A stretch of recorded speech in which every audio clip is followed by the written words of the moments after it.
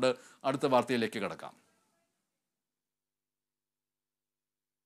സിനിമകളെ വെല്ലുന്ന രീതിയിലുള്ള വലിയൊരു കൊലപാതകം എന്നാണ് പലപ്പോഴും ഓരോരോ കൊലപാതക വാർത്തകൾ വരുമ്പോഴും നമ്മുടെ മുന്നിൽ അതിനെ വിശേഷിപ്പിച്ച് പറയാറുള്ളത്. പക്ഷേ ആലപ്പുഴ കലവൂരിലെ സുഭദ്ര എന്ന എഴുപത്തിമൂന്നുകാരിയെ കൊലപ്പെടുത്തിയതിന്റെ ചരിത്രം പരിശോധിക്കുമ്പോൾ എത്രമേൽ വിചിത്രമാണ് അതിന്റെ ഓരോരോ നാൾവഴികൾ എന്ന് നമ്മൾക്ക് തോന്നും. അതിക്രൂരമായ മർദ്ദനത്തിന് ശേഷമാണ് ആലപ്പുഴ കലവൂരിലെ എഴുപത്തിമൂന്നുകാരിയായ സുഭദ്രയെ കൊലപ്പെടുത്തിയത് എന്നാണ് റിപ്പോർട്ടുകൾ പുറത്തു വരുന്നത്. ചോദ്യം ചെയ്യലിൽ പ്രതികൾ കുറ്റം സമ്മതിച്ചുവെന്ന് പോലീസ് പറയുന്നു. പ്രതികളായ ഷർമിള മാത്യൂസ് സഹായിയും ബന്ധുവുമായ റൈനോൾഡ് എന്നിവരുടെ അറസ്റ്റ് പോലീസ് ഇന്ന് രേഖപ്പെടുത്തി.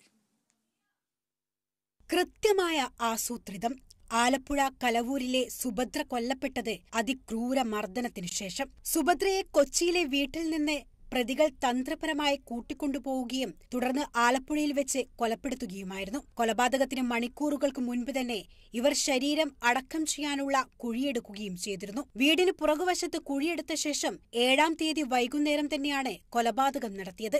നെഞ്ചിൽ ചവിട്ടിയും കഴുത്തുഞെരിച്ചും അതിക്രൂര കൊലയാണ് പിന്നീട് നടന്നതെന്ന് പോലീസിന്റെ ചോദ്യം ചെയ്യലിൽ പ്രതികൾ സമ്മതിച്ചു. കർണാടക മണിപ്പാലിൽ നിന്നും പിടികൂടിയ പ്രതികളെ രാവിലെയോടെയാണ് ആലപ്പുഴ മണ്ണഞ്ചേരി പോലീസ് സ്റ്റേഷനിലെത്തിച്ചത് ഡിവൈഎസ്പി മധുബാബുവിന്റെ നേതൃത്വത്തിലുള്ള സംഘമാണ് പ്രതികളെ ചോദ്യം ചെയ്തത്. തുടർന്ന് പ്രതികളുടെ അറസ്റ്റ് രേഖപ്പെടുത്തുകയായിരുന്നു. പ്രതിയായ മാത്യുവിന്റെ സുഹൃത്തും ബന്ധുവുമായ റൈനോൾഡിന്റെ അറസ്റ്റ് പിന്നീട് രേഖപ്പെടുത്തുകയായിരുന്നു. പ്രതികൾക്ക് സഹായം എത്തിച്ചെന്ന വിവരത്തിന്റെ അടിസ്ഥാനത്തിലായിരുന്നു ഇയാളെ കസ്റ്റഡിയിലെടുത്തത്. സുഭദ്രയെ മയക്കിക്കിടത്തുന്നതിനുള്ള മരുന്ന് ഇയാളാണ് എത്തിച്ചു നൽകിയത്. സ്വർണം കവരുമ്പോൾ റൈനോൾഡും ഇവർക്കൊപ്പം ഉണ്ടായിരുന്നുവെന്ന് വ്യക്തമായതോടെയാണ് കേസിൽ കൂടുതൽ പേരുടെ പങ്ക് പുറത്തുവന്നത് സ്വർണം കവരുകയായിരുന്നു പ്രതികളുടെ പ്രധാന ലക്ഷ്യം. മാത്രമല്ല പ്രതികളും സുഭദ്രയും കഴിഞ്ഞ കുറച്ചു വർഷങ്ങളായി സാമ്പത്തിക ഇടപാടുകളും ഇതിന്റെ പേരിൽ തർക്കങ്ങളും നടന്നിരുന്നു. ഇതും കൊലപാതകത്തിലേക്ക് നയിച്ച മറ്റൊരു കാരണമാണ്. ആദ്യം കടവന്ത്ര പോലീസ് അന്വേഷിച്ച കേസ് പിന്നീട് ആലപ്പുഴ മണ്ണഞ്ചേരി പോലീസിനെ കൈമാറുകയായിരുന്നു.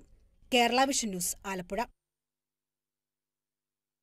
സ്വർണത്തിന് വേണ്ടിയായിരുന്നു ഈ മോഷണം എന്ന് പറയുമ്പോൾ ആവേശം എന്ന സിനിമയിൽ ഫഹദ് ഫാസിലിന്റെ കഥാപാത്രം ശരീരത്തിൽ ഉടനീളം സ്വർണാഭരണങ്ങളും മറ്റുമൊക്കെ ഇട്ട് നടക്കുന്ന രംഗങ്ങൾ ഒരുപക്ഷെ പ്രേക്ഷകർ ഓർക്കുന്നുണ്ടാവും. കേരളത്തെ സംബന്ധിച്ചിട്ട് ഓരോ ദിവസവും സ്വർണത്തിന് വില കൂടിക്കൊണ്ടേയിരിക്കുകയുമാണ് അതുകൊണ്ട് നിറയെ സ്വർണാഭരണങ്ങൾ ധരിച്ച് യാത്ര ചെയ്യുന്ന ഒരു വ്യക്തി എന്ന്